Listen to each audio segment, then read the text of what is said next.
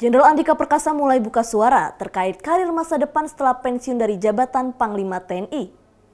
Hal ini diungkapkan Andika setelah acara serah terima jabatan Panglima TNI kepada Laksamana Yudo Margono di Mabes TNI Selasa hari ini.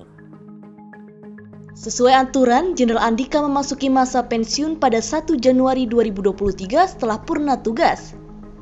Meski menjelang masa pensiun, Andika masih enggan mengungkapkan rencananya setelah pensiun sebagai Panglima TNI.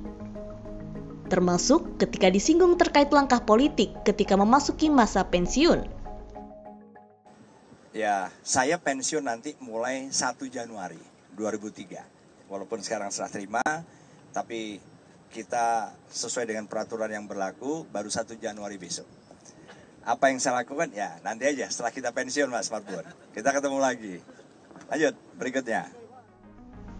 Diketahui nama Andika Perkasa kerap digadang-gadang masuk dalam bursa calon presiden maupun calon wakil presiden 2024.